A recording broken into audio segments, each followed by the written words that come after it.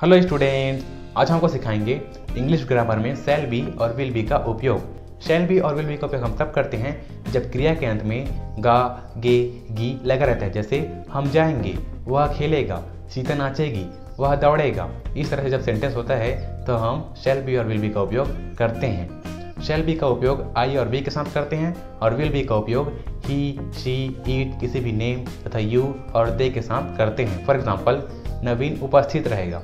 इस इंग्लिश में कहेंगे Naveen will be available Naveen will be available हम क्रिकेट खेलेंगे।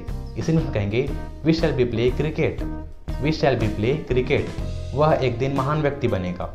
इस इंग्लिश में कहेंगे he will be a great man one day he will be a great man one day मैं कल मैं कल दिल्ली जाऊँगा। इस इंग्लिश में कहेंगे I shall be go to Delhi या tomorrow I shall be go to Delhi tomorrow कल बहुत गर्मी होगी। इस इंग्लिश में कहेंगे it will be very hot tomorrow it will be very hot tomorrow English सीखने के हमें फॉलो करें और हमारे यूट्यूब चैनल इंग्लिश ज्ञान बेनवी ज़रूर सब्सक्राइब करें।